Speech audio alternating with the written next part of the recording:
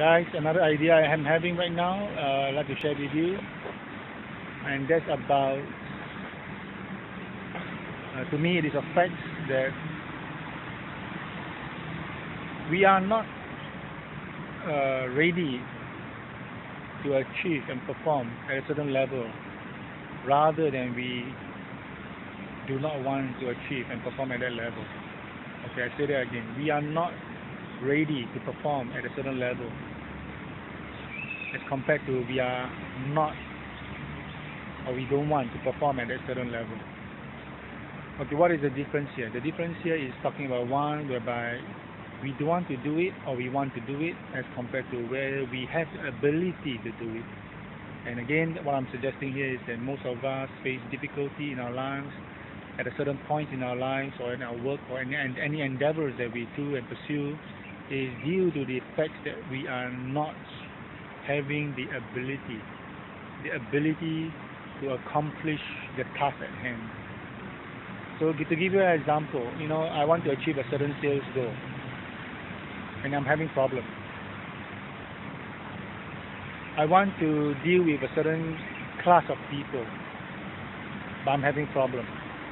I want to pursue high academic success, uh, but I'm having problem. I want to uh, be a better parent to my children, but I'm having problems. I want to teach better, educate better, but I'm having problems. I want to be a better leader, to manage teams better, but I'm having problems. I want to sell better, perform at a higher level, win at my games that I play in sports, for instance, but I'm having problems. Uh, yeah, anything. What I'm trying to say here is that when you are facing problems in any any area of your life that you're trying to achieve success in, consider these facts that you may not have the ability at this moment to get the results that you desire. It is not that you don't want to win. It is that you do not have the ability yet. It is not that you do not want to manage your children better.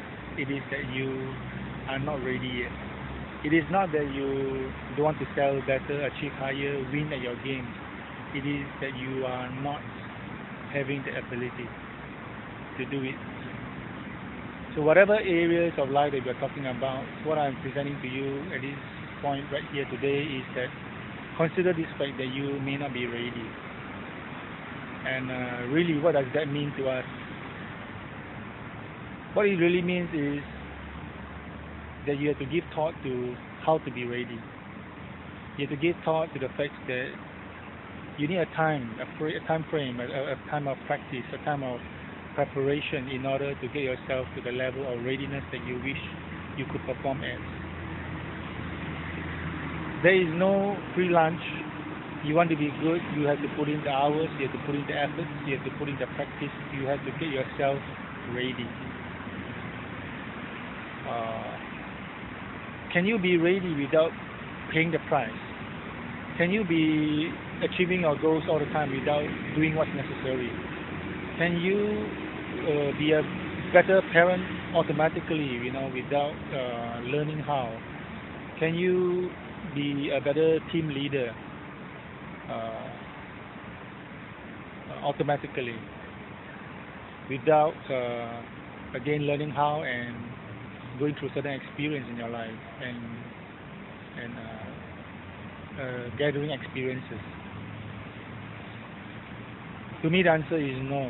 The price must be paid. The practice must be done. The muscles, so to speak, must be developed. And unless your muscles are ready, developed, you will continue to have difficulties to do the, the work that you really want to do, to achieve the goals that you really want to achieve. So again, coming back to the beginning, if you are not securing the results or achieving the goals that you have, it is not so much you don't want to do it. Consider the fact that you may not be ready. And if you are not ready, there's no way that you can get it. So what's the next best thing to do? The next best thing to do, in my opinion, would be to get to your, get yourself ready. Start now. Start today. Begin to put in the hours, the efforts, and learn what it takes to truly be ready. And only then, I will think that you will be able to have a chance, a shot at a goal, at a prize that you are trying to achieve and seek. So that's something for you to think about today. This Leonard Lau Legacy, uh, signing off.